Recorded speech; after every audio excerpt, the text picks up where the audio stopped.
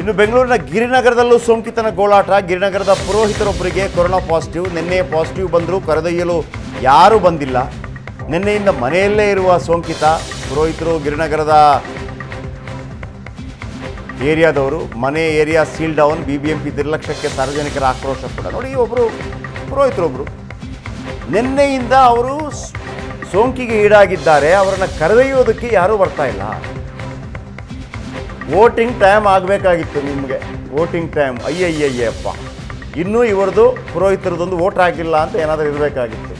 Rickshaw ಏನು ಕಾರೇನು helicopter ಬರ್ತಿತ್ತು ಬೇಕಿದೆ ನಮ್ಮನ್ನು ಆಸ್ಪತ್ರೆಗೆ ಕರ್ಕೊಂಡೋಗಿ ಅಂತ ಕೇಳ್ಕೊತಾ ಇದ್ದಾರೆ, ಬೇಡ್ಕೋತಾ ಇದ್ದಾರೆ ಪೇಷಂಟ್ಸು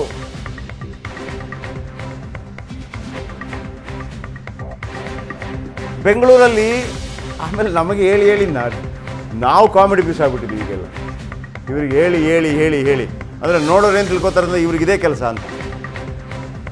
ನೋಡಿ ಸರ್, ಕೊರೋನಾ ಪೀಡಿತರು ಪಾಸಿಟಿವ್ ಇರುವವರು ಫೋನ್ ಮಾಡಿಬಿಟ್ಟು ಹೇಳ್ಕೊಂಡ್ರೆ ಅವ್ರನ್ನ ಕರ್ಕೊಂಡು ಹೋಗೋದಕ್ಕೆ ಯಾರೂ ಬರ್ತಾ ಇಲ್ಲ.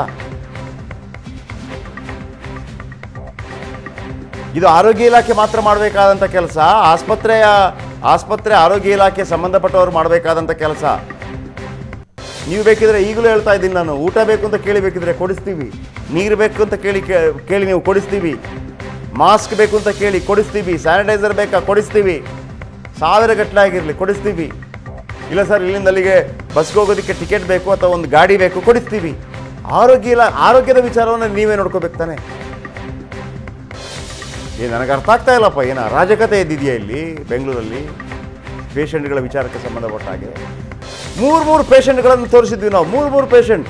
ಸರ್, ಕೊರೋನಾ ಬಂದಿದೆ ಕರ್ಕೊಂಡು ಹೋಗಿ ಯಾರು ಯಾರಿಲ್ಲ ಕರ್ಕೊಂಡು ಹೋಗೋರು ಅಥವಾ ಖಾಸಗಿ ಆಸ್ಪತ್ರೆಗೆ ಹೋಗಿ ಅಂತ ಅಂದ್ಬಿಟ್ಟು ಏನಾದರೂ ನಡೀತಾ ಇದೆ ಗೊತ್ತಿಲ್ಲ ನನಗೆ.